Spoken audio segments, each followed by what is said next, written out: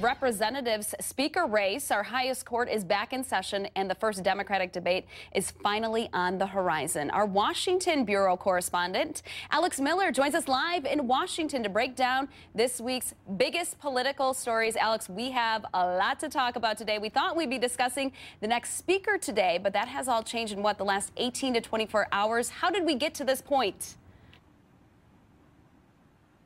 So I definitely thought we were going to be talking about who the next speaker was. Last week, we they had announced that the elections would be yesterday for speaker, and then earlier this week, John Boehner moved those elections to October 29th, and the nomination uh, meeting was supposed to be yesterday. But at that meeting, Representative Kevin McCarthy, who was the frontrunner and expected to be nominated, uh, abruptly dropped out of the race. It was shocking to everyone members, staffers, um, journalists uh, we're all extremely shocked by this, but in hindsight, looking back, there were some red flags. McCarthy made some comments on Fox News last week about Hillary Clinton's candidacy and the Benghazi committee in Congress that got him into some hot water. And in his dropout speech, he mentioned those comments, saying maybe they weren't the best idea.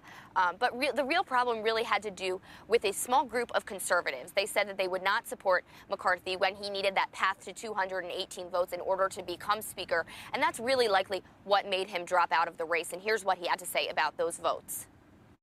I don't want making voting for Speaker a tough one. I don't want to go to the floor and win with 220 votes.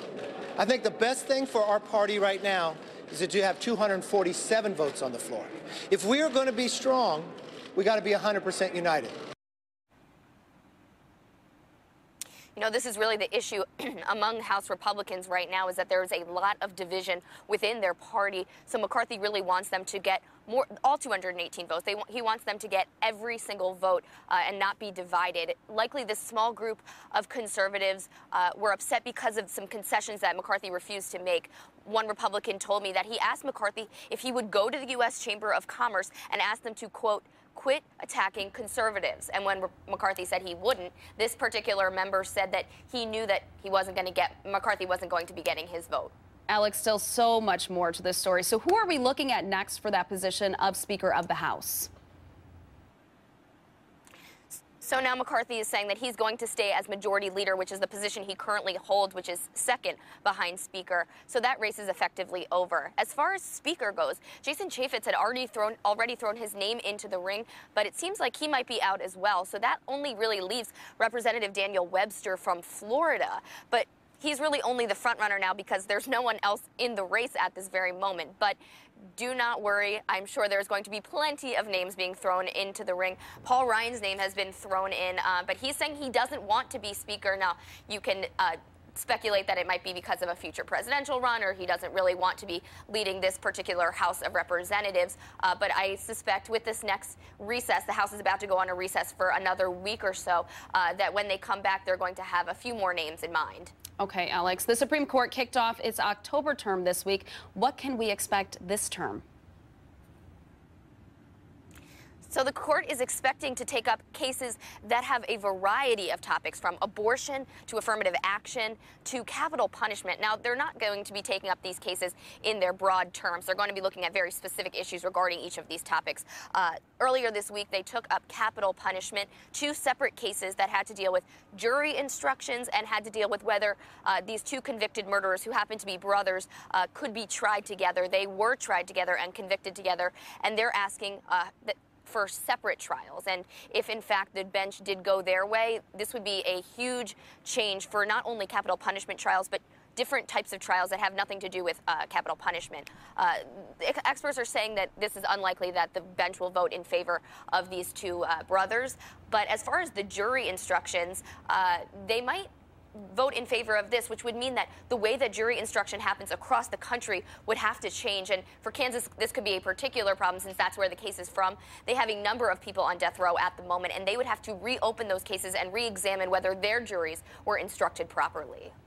So, Alex, switching gears now, the first Democratic debate is next week. We know we shouldn't be expecting fireworks like we did in the Republican debates, but what can we expect?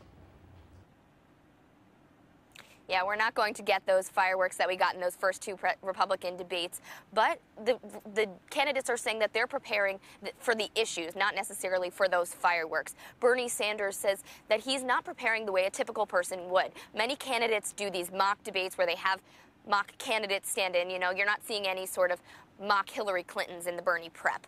Uh, he's looking at briefing books and really reading up on these issues um, and when he looks at these issues, he's really preparing to be able to talk to Hillary Clinton and potentially Joe Biden.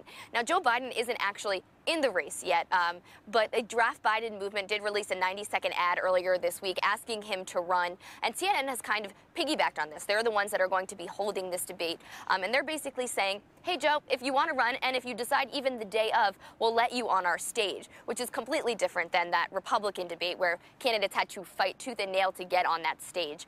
Now, Hillary Clinton, uh, her path has been a little bit different. I think she's entering this debate a little differently than she thought she was going to. She's bruised and beaten from scandal after scandal over the last couple of months. Um, so she's really just going to have to work on that trust factor and the relatability factor as well. So not necessarily those big fireworks that we expected in the first Republican debates, but it still should be interesting uh, to watch. Always a lot of news out of Capitol Hill. Thank you so much to our Washington Bureau correspondent, Alex Miller.